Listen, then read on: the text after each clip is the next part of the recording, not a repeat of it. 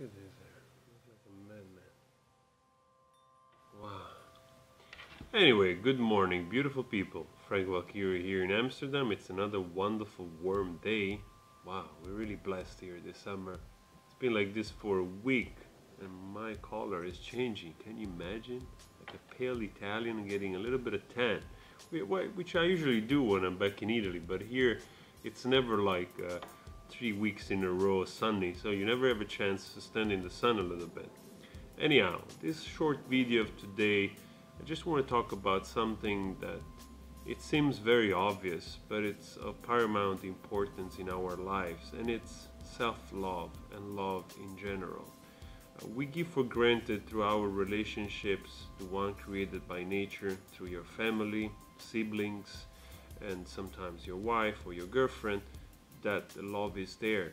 But not only most of the time we neglect love and self-love, but sometimes we give it for granted in a way that we only realize how valuable that connection with another human being is only when you go through long period of time of loneliness or being by yourself or just life kicks you in the balls and you realize you know how painful it is to lose somebody that you were attached to.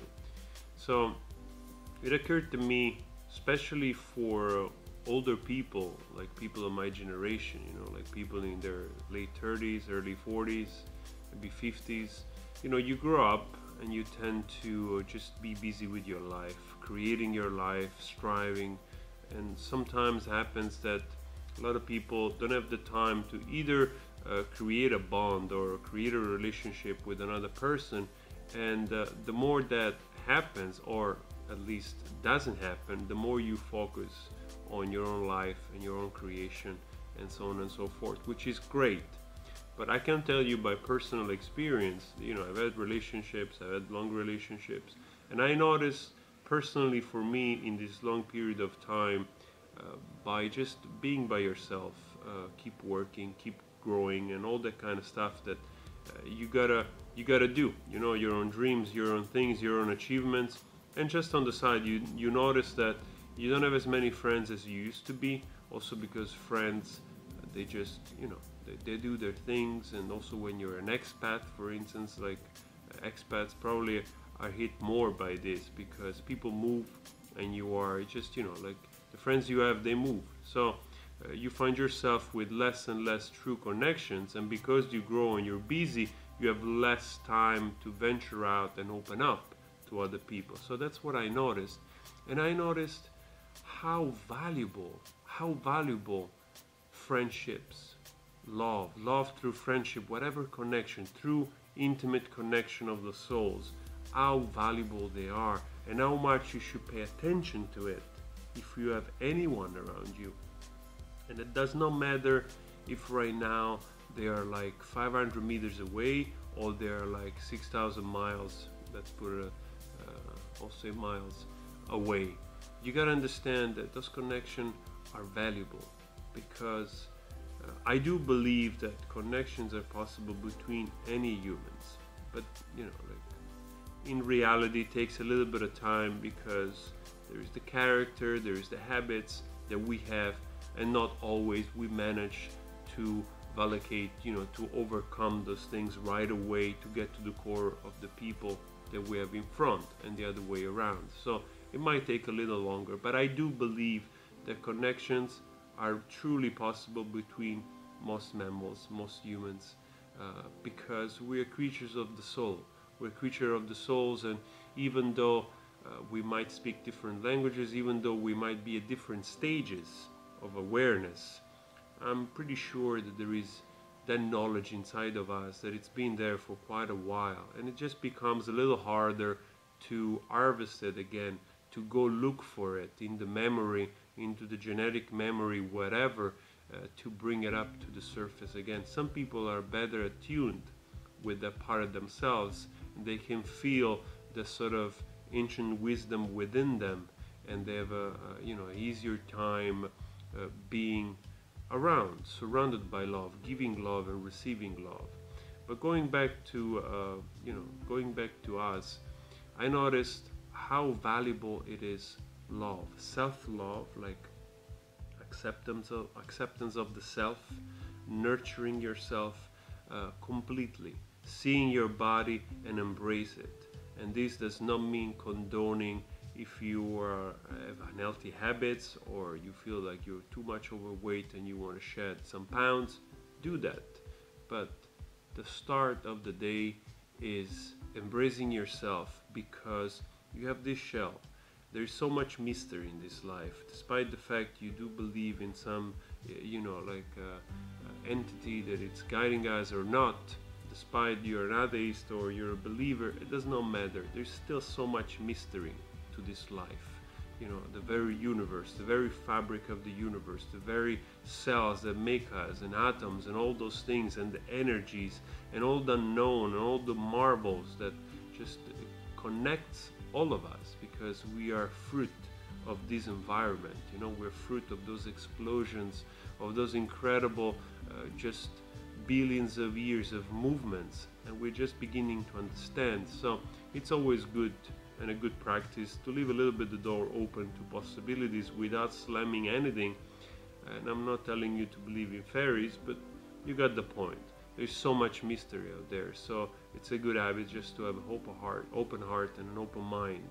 And um, going back to self-love, wow, you gotta love yourself. You you really gotta love yourself. Look at yourself and just cherish this shell that you are inhabiting now because you are inhabiting it now for um, many years. You will be inhabiting this thing for whatever time, and it's yours, it's you, it's part of you, it's serving you, it's helping you to stay healthy, to walk, to move, to achieve your things. It's there with you, always trying to heal, always trying to support you in every direction.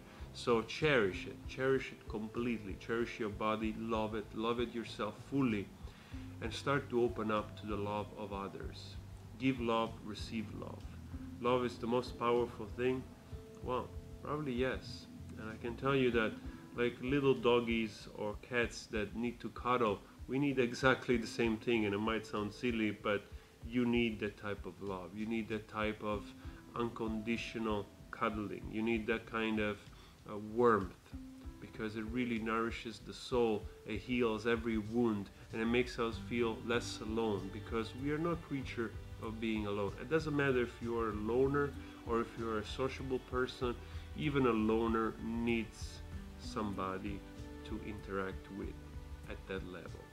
And perhaps a loner needs less of that. I find myself needing, for instance, less people around me. I'm not always, I don't always have the desire of being around people, uh, or I don't need a lot of energy around me all the time. But I can definitely tell you that the more I'm growing, the more I'm cherishing those few friendships that I have, distance or close, that you just get each other, understand each other, you value each other without judgment. You're already at the point where there is a, a certain type of awareness so you can comfortably uh, be without uh, fear of being misunderstood about your vulnerabilities and everything, which is mostly the case with other interaction. You know, we always bring forth our uh, perception, our ego. We always bring forth what we think it's us, and we lay lay it on the table like this is me, accept it or walk away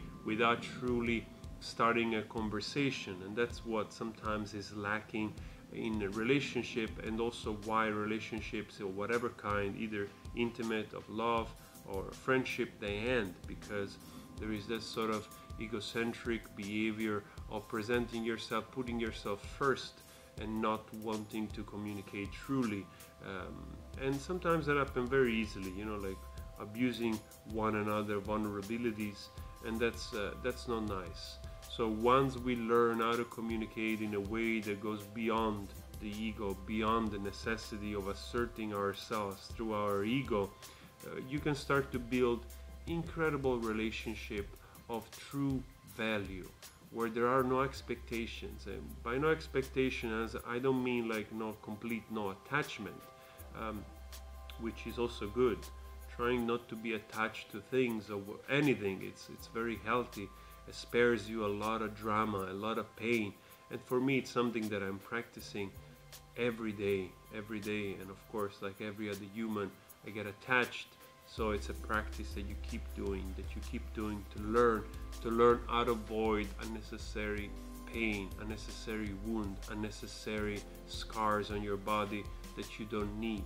So to embrace unconditional love and cherishing those friendships that you have around you that of true value, you will see that you know your soul will be completely nourished, completely nourished because that sense that we all seek, that sense that that strange uneasiness that we all have inside of us, that we seek for almost invisible ends that can just you know rock us back and forth as if we were like newborns. You know, that sense is still in us with that, that desire of truly being protected, being welcomed, being totally forgiven and embraced. Like surrender completely to time and space and the universe with their realization and awareness that we are loved, that we are cared for. This is something that is in all of us. And it's also the reason why why this fragile thing when it's mistreated causes so much pain in us. And we spend most of our lives to try to heal that. And i understood that at a certain point. I don't remember where but i understood that. And the more i'm growing the more i'm cherishing those true connections and i want to water it like a flower like a plant or like a tree all the time to look forward to to to be together to be together in an extended sense you know? In an extended sense not only with your immediate family but also with those beautiful people that you encounter in life. Start to be connected truly without expectation without judgment without ego and just dance. Dance each other to the end. Dance each other to grow to embrace this beauty of life we are here we we deserve to be here we earn to be here and let's be together in a way that can be better than everything we have seen before. So, that's all I have to give you today. Self love.